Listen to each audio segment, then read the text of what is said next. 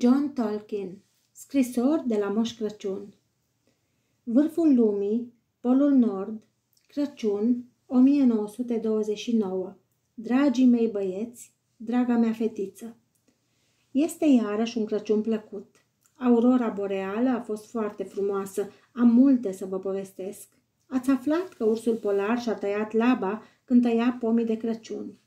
Cea dreaptă, nu cea stângă. Bineînțeles că a fost rău că și-a tăiat-o și mare păcat pentru că și-a petrecut aproape toată vara învățând să scrie ca să mă ajute iarna la scrisori. Am făcut un foc afară anul acesta ca să-i facem pe plac cursului polar pentru a sărbători venirea iernii. Spiridu și zăpezii au dat drumul dintr-o dată la toate rachetele, ceea ce ne-a uimit pe amândoi. Am încercat să vă desenez scena, dar erau sute de rachete, spiridușii nu se văd deloc în ninge. Focul a făcut o gaură în zăpadă și a trezit marea focă. Aceasta se afla întâmplător de desubt. După aceea, ursul polar a aprins 20.000 de artificii. Aproape mi-a epuizat stocul, de aceea nu am mai avut niciuna să vă trimit. Apoi a plecat în vacanță, în nordul Norvegiei, și a stat la un tăietor de lemne pe nume Olaf. Și s-a întors cu laba bandajată, chiar când începea perioada de lucru la noi.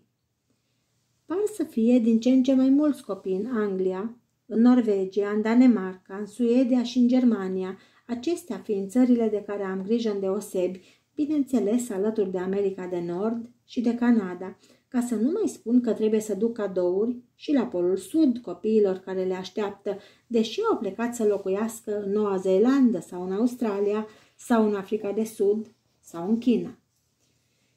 E bine că nu este aceeași oră peste tot în lume, altfel nu aș putea să trec pe la toți, deși de Crăciun, când puterile mele magice sunt foarte mari, pot să umplu o mie de ciorăpei pe minut.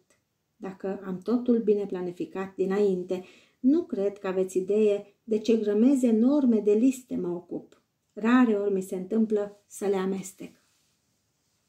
Dar anul acesta sunt îngrijorat.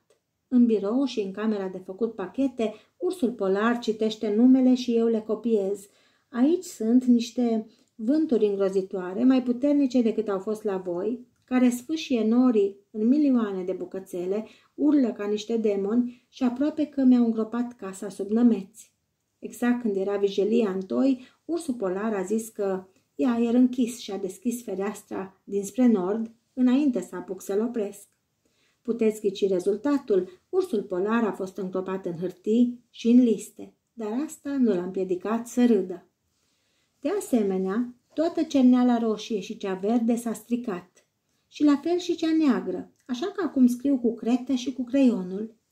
Mai am puțină cerneală neagră rămasă și ursul polar o folosește ca să scrie adresele pe pachete. Mi-au plăcut toate scrisorile voastre, foarte mult chiar, dragii mei.